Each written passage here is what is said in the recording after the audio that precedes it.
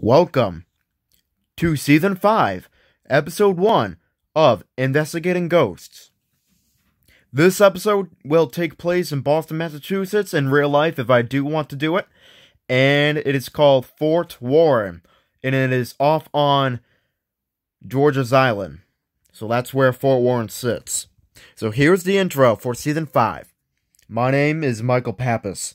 I have always wanted to go to some scary places so I could be spooked out with my two investigators named Alex that is in charge of developing technology so we can see things in the dark. And with my best friend like brother named Brady Maycumber that will be locked with me for the entire night. All three of us are. All over these scary ghost places from around the 50 states. While from dusk to the rise of the sun, while battling ghosts, extreme, and the horrors. These are the places that we will be investigating. Welcome to our 50th episode. To this big, big fort area right behind me called Fort Warren. It is a fort of American soldiers that they were all participating in World War One and Two.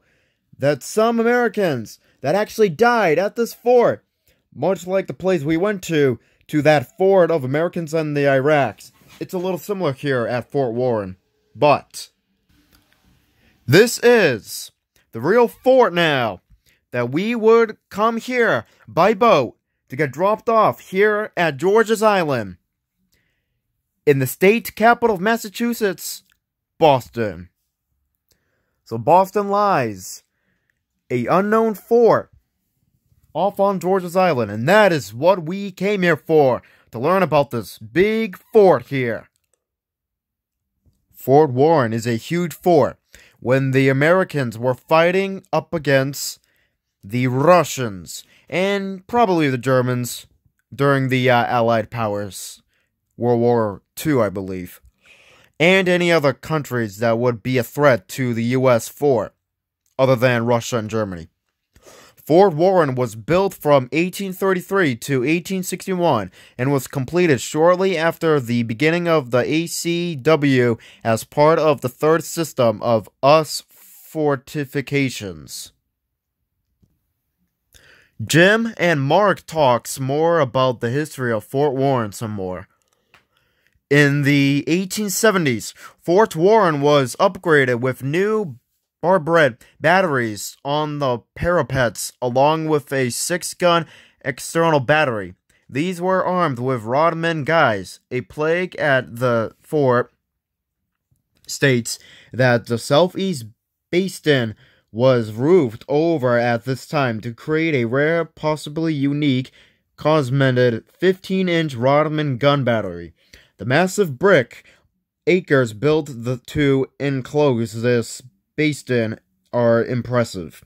From 1892 to 1903, Fort Warren was rebuilt to accommodate modern breech loading ri- rifled guns under the Endicott program. Five batteries were added to the fort, replacing some of the older gun positions as follows. Fort Warren was the headquarters of the coast defenses of Boston in World War I. In 1917 to 1918, the four 10 inch guns of Battery Bartlett were removed for potential services as railway artillery on the Western Front. Contrary to some references, no 10 inch railway guns were mounted in time to be shipped. The France to France for World War One, so that's where it got shipped to. Different 10 inch M1888 guns, including two from Battery Reilly at Fort Adams in Rhode Island and two from storage, replaced these weapons in 1919. In 1920, with World War I over with, several weapons types were withdrawn from coast artillery services. These include the 4 inch Driggs uh, guns of Battery Plunkett, at the and the 3-inch Driggs-Seabury, guns of Battery Lowell. The 4-inch guns at Fort Warren remained as display pieces at, at least through 1941. So Jim is talking about the history of how these guys fought from the fort, of what they used for machinery and uh, weapon-wise. None of these were replaced, but during World War II, the fort served as a control center for Boston's Harbor's South Minefield, a precaution taken in anticipation of potential attacks by Kriegsmarine U-boats.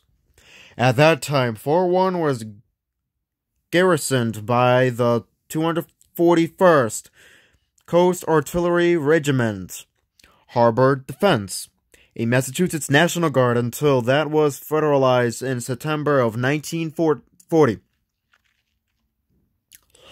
Now, as new 16 inch batteries were built, particularly Bat Murphy at the East Point Military Reservation, Fort Warren's remaining guns were scrapped in 1942 to uh, 1944. Fort Warren was permanently decommissioned after 1950. At some point, an emplacement of Battery Bartlett was demolished for a access road. This wow. So all that weapon that they came here to fight, um, they used them all to protect their fort in Boston too, right? Wow, this place is a power fort of American battleground, definitely for New England, and hundreds of fighting war war uh, soldiers. Wow, God. So now X's will be placed soon when we go inside. Yes, because this place is huge, since it is off on a island.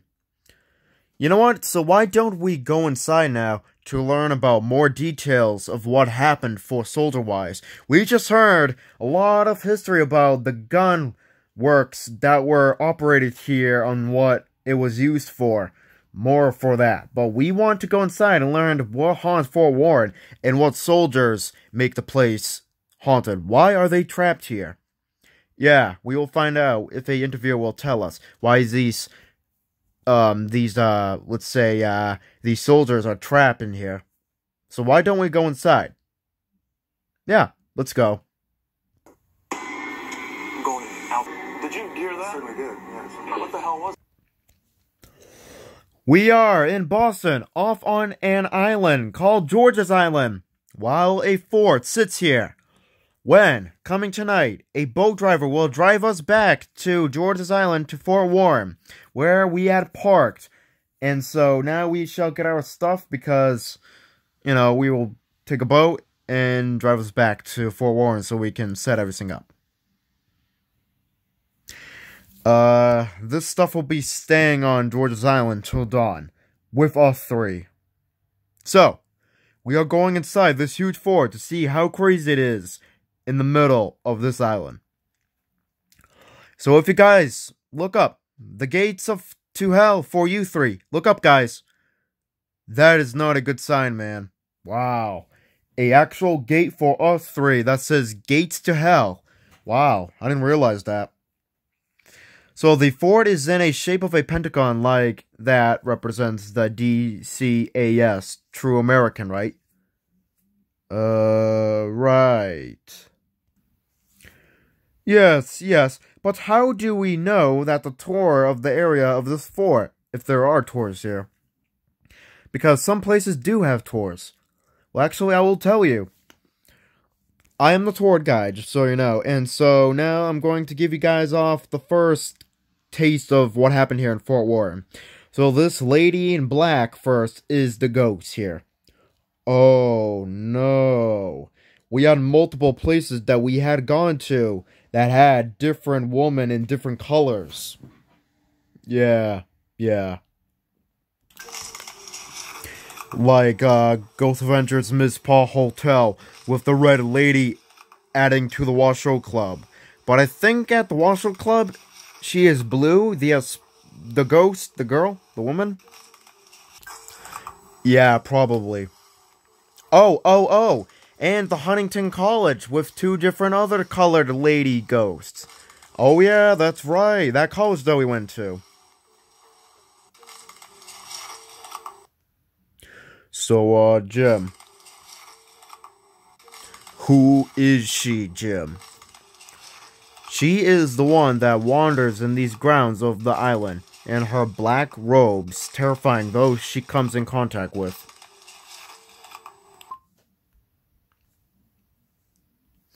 And now, Jim, you need to read the history about the Lady in Black, which I'll pull that up right now. And so, this article that uh, Jim will read. This is such a huge paragraph, so I'm just going to read down to here, and that is it. So, the incredible, well, the unforgettable Mrs. Lanier was uh, allegedly sentenced to death as a spy by L.T. Cole Dimmick. Before her hanging, she had one request. She wished to avoid the disgrace of meeting her demi- demise in a man's clothing, requested something more dignified. Some versions of the story claim that the soldiers managed to find in black dress, which was her, that was used theatricals at the fort. Alternatively, she was given black monk's robes, another costume for theatricals, or in other versions, an officer's black cloak. No matter which way, she was elegantly dressed in black when she was hung. And after her death, many soldiers at the fort claimed to see the mysterious apparition of a lady in black. Her voice could be heard in the corridor of dungeons. Soldiers playing poker observed a stone rolling unexpectedly across the room. Footprints were spotting in the snow outside the fort. Just five of them came from nowhere and going nowhere. Coming with some soldiers, according to the tradition, were even court martialed for shooting and a phantom, phantom in black, and one was brought up on charges of fleeing his post because he claimed he was chased by a lady in black. These stories run well into the 20th century and 21st century, if you must say. And so the Lady in Black, or the late Mrs. Melanian, was the devoted wife of a Confederate soldier. After she received a letter from her husband stating that she was imprisoned at Fort Warren on George's Island, Mrs. Lanier was so moved to free him from captivity that she made the arduous journey from Georgia to Hull, Massachusetts, just minutes away from George's Island. She had a pistol and fired it on a soldier, causing her guilt to make the soldiers hung her. And she got hung, huh? Well, I guess she is like the main ghost on this island here. The ghosts here that served in war for had died from shots here, right? Not that so. Uh, from the enemy? Sure, yeah, from the enemy. They come at night and you can hear the battle screams, meaning cries, from those soldiers. And some noises that you can also hear some cells' doors getting slammed and figures as the last ones come.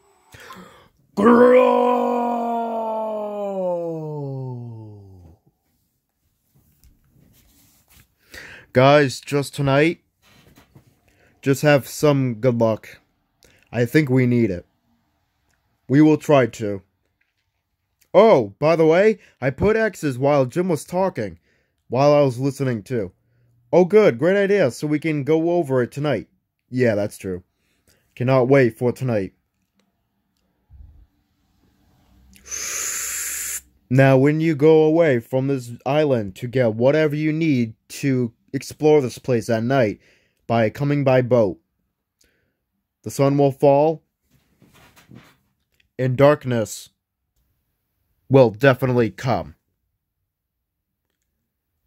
And it, it, it, it, will haunt you guys. Uh, it's gonna infect you guys. What if the three of us?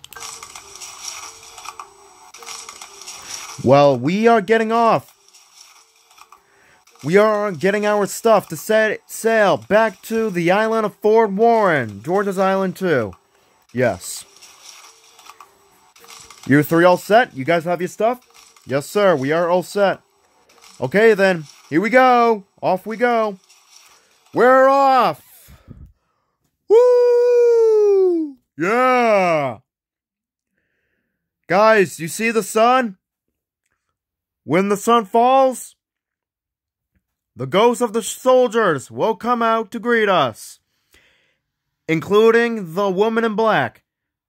Yes, she will be there. She will appear as well. And so now, by the boat, the three finally makes it within five minutes till dark. Well, it is five minutes till darkness, and so Excuse me, Mr. Boatman, can you pick us up at 6 a.m.? Yes, sir. Great. Okay, bye and good luck, man. Good luck to you three. Thank you so. And so, your destination had finally come. Hell. What Zak Bagans said on Fort Valley Island is, here is your final destination. Hell. Which is also a movie, Final Destination. And Fort Warren's war has just begun. Yes, sir. Now, right before we um do any exploring here, let us just set up our let's say our little boot camp, our nerve center, and see uh what we can find out here. Let us go over Brady's X's too. Alright then, got it. We have an X outside, in the fort area, and inside. So let us start at the 4 area. So the uh, X's, we quickly went through it because we just were so fired up to investigate this fort.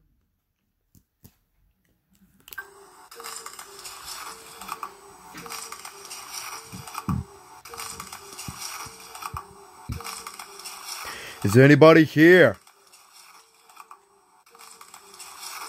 Oh, dude. I can hear, like, big boot like footsteps walking by, man. Huh? Something is wrong already, guys. Oh, dude, guys, look. Look at the grass. It is blowing because of the strong winds, guys. That might be a sign. It is getting ready for something very active to happen in this here fort. Oh, yeah. Oh, oh, oh, oh, dude, dude, dude, guys, guys, guys, look, look, look. Something just walked to the inside of the fort area, man. I swear to God. What? What the? Well, did you catch her uh, on camera? No, not really. I just saw it with my own eyes. Too bad it did not get caught on the camera. Well, that is probably a soldier, Alex. So how would we do by going to the outside to set up a camera since we are outside.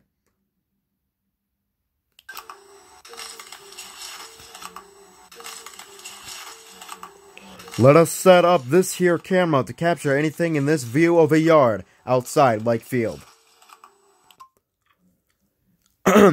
While you hit record Brady, I'm going to do a little message to uh, somebody. Which is who? You'll find out. Woman in black, show yourself. Woman in black, show yourself. Show yourself.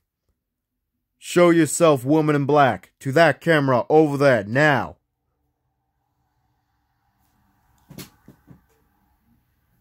Oh, dude, what was that?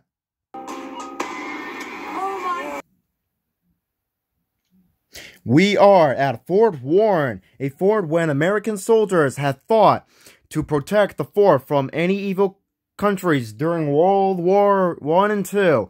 When suddenly our camera caught a noise on the field that Brady had heard. Here's the replay. Dude, what was that? Something just happened, man. I swear to God. What? My battery in my camera had just died while that noise just was just all of a sudden was heard. Uh oh. Oh no. What? You for real? Are you for real? Yes, yes. Well, who did that? Was it you, woman in black? Yeah, well, uh, let us now go back inside because it's a little freezing out here since the uh, wind is blowing on us. Yeah, great idea. Okay, let's do it. So we all go inside now, and it's a little bit of a pause. American soldiers, you in here? Yeah. Did you just hear that? Uh-uh, no. What? Well, I caught a voice, man. You didn't hear it? No, not really. UA soldiers in here? Ooh! Oh, what? What? What? Something is pushing me, man. Blah! What is going on, man? What did you feel? It is something that is going good, man. Dude, something is up. I'm getting pushed right now, man. Dude, I think you are getting a little bit of activity in here.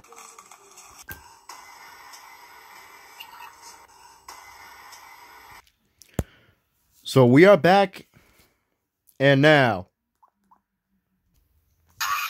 What happened was something had pushed me.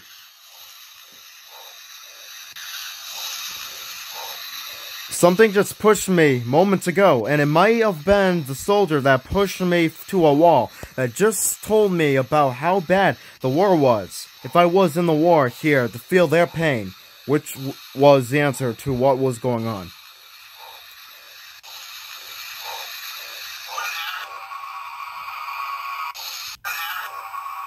No kidding, man.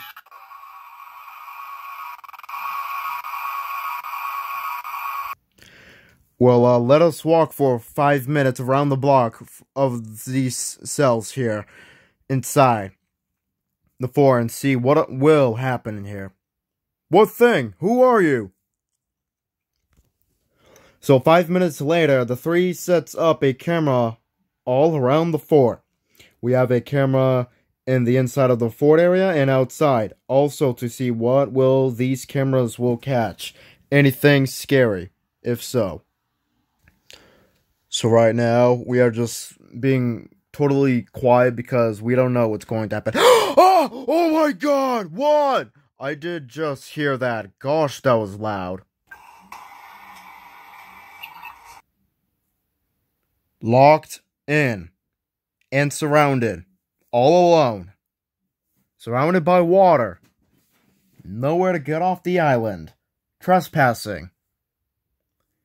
That they cannot get out till sunrise.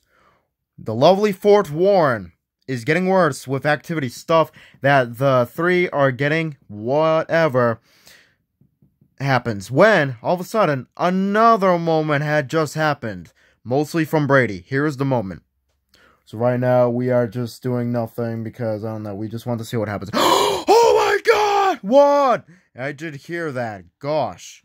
Here is the replay of what Brady had heard that startled him. Go away. Go away. What? Wow.